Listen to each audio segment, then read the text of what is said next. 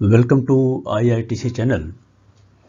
Friends, today we are going to see the potential questions to be asked during the safety officer interview or safety supervisor interview or HSE supervisor interview or HSE manager interview. These are top 50 potential hot questions what you will face during the interview. Probably the phase will be different. Probably they will ask the different questions.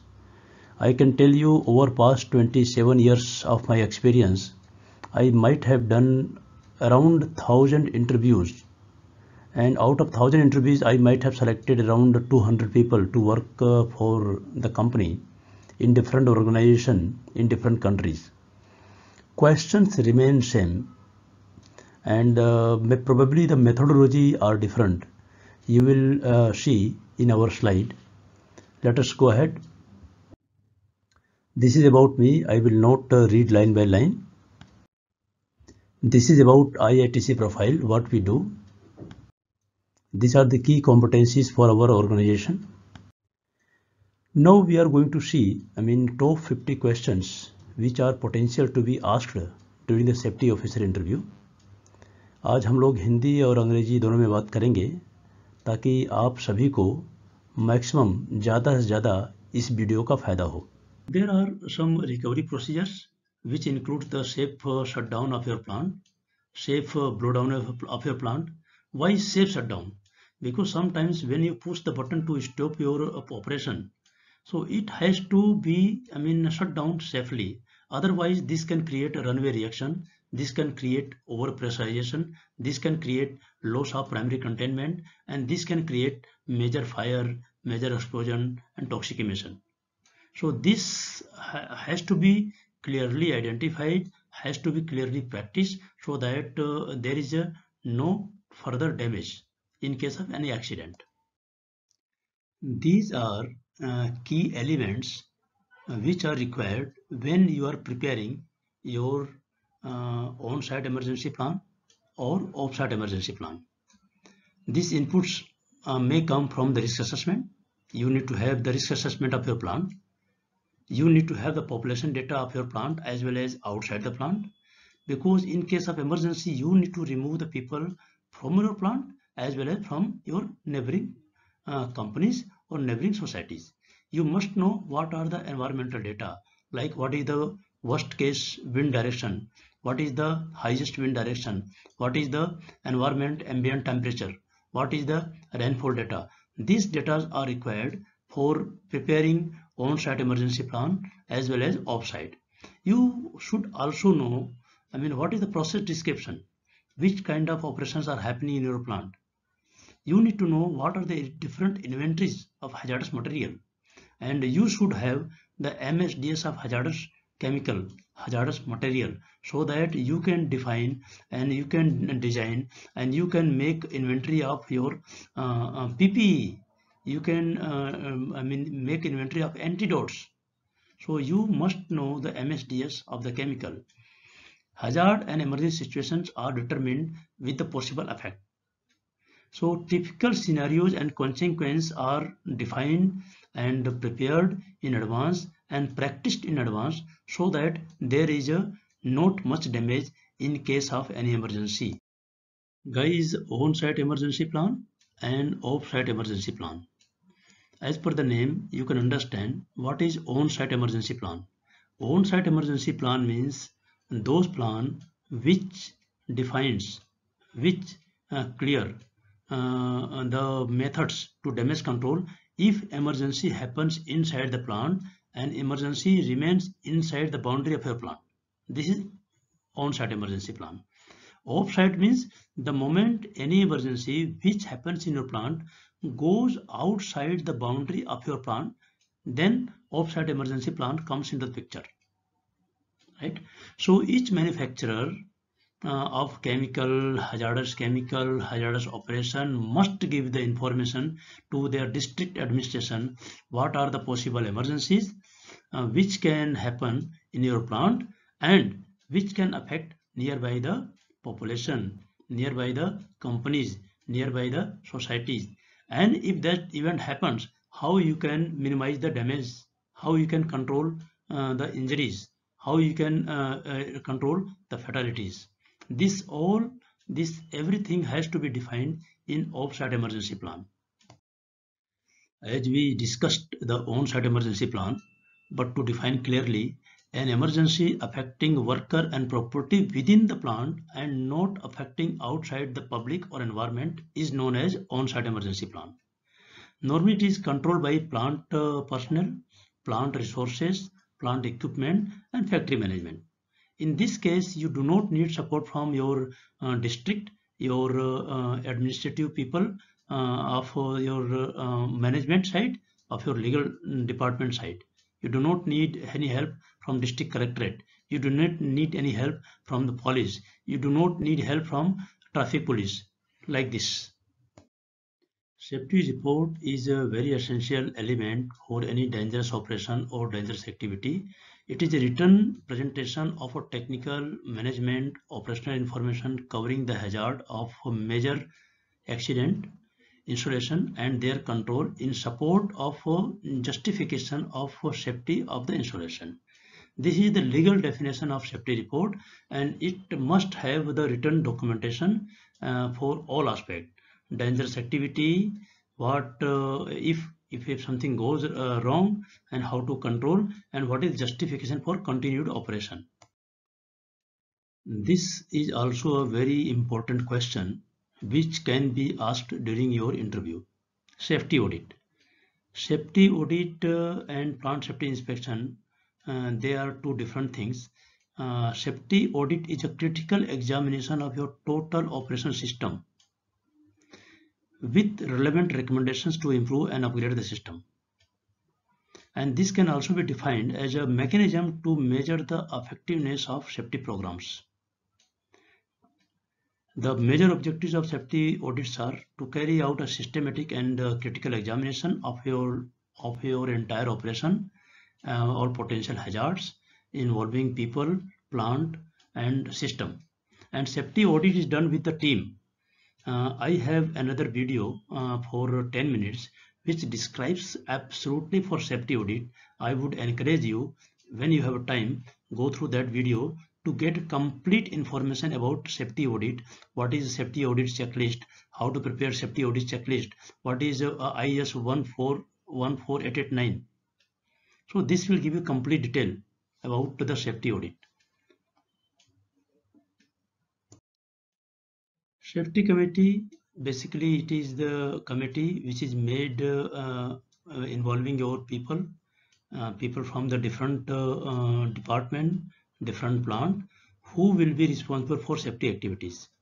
As per the Factory Act, Indian Factory Act uh, 41G and Factory Act 1948, there is a requirement that every company must have safety committee and safety committee uh, should be formed with a cross-functional team member. Safety management system. I will not read uh, this paragraph line by line but based on my experience i can say you safety management systems are those systems which covers all your activities operation activities maintenance activity are to be done safely so to uh, run your plant safely to run your maintenance safely there are some systems some procedures some checklists permit to work. This entire system uh, is known as a safety management system. Guys when you are going to have the interview for HSE manager HSE supervisor HSE officer safety officer normally fire and safety is the part of each other sometimes it is known as health safety environment. So sometimes people may ask you what is the uh, definition of fire. So you can say that fire is a rapid oxidation of a material. It is a process of com uh, combustion release of heat light and various reaction product. So this is simple definition of fire or you can say that this is the combination of uh, combustible material, source of ignition and presence of oxygen. There are two terminology which is used in fire. One is fire prevention and second is fire protection. Fire prevention are the activities which comes before fire takes place. like restrict the fire uh, sources, prevent loss of uh, primary containment, education and knowledge. This is the part of fire prevention. And fire protection means this activity comes after the fire takes place. Let's say once fire happens, then what are the action to ensure that there is a no damage, not major damages. For example, you need to have compartmentation of your uh, combustible material.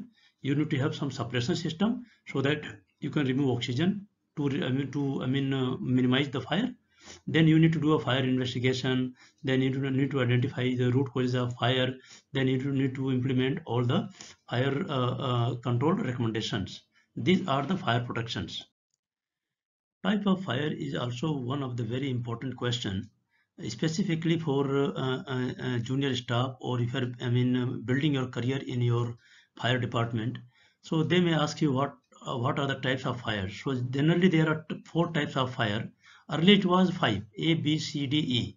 But now it is known as only 4 types of fire. Class A, Class B, Class C, Class D. Class A means combustible material fire, which can be put off with the help of uh, water and smothering effect. Class B means any liquid fire or gas fire which can be put off by smothering effect by using uh, foam or CO2. Class C means electrical fire which can be put off, which can be extinguished by using DCP and CO2. But DCPs are not generally used because this can create pollution. This can create contamination. So most of the time CO2 flooding, CO2 systems are used to extinguish electrical fire. D is a last is a metallic fire. For D, no water should be used. Only DCP uh, uh, can be used for metallic fire. as I mentioned that if you are going for the position of HSE, safety, fire officer, so health, safety, environment is part of, uh, I mean, uh, one portfolio. So people may ask you what is the definition of environment. Uh, you can simply uh, read this paragraph and understand and absorb it to define the environment. Now we will go for uh, the EMP, Environment Management Plan. Plan is a systematic plan to minimize the environmental impact due to the industrial activity. This is a simple definition you need to remember. Or you can also understand it and uh, uh, I mean tell your answer in your language, in your understanding. Environmental pollutants, presence of solid, liquid and gaseous substances in higher concentration which can create dangerous situation to people and environment. This is environment pollutants maybe solid pollutants, liquid pollutants, and gas pollutants. Confined space entry. This is the very important question. This question will be asked when you are going for the interview. So read it twice, listen it twice, remember it, and you define in your language.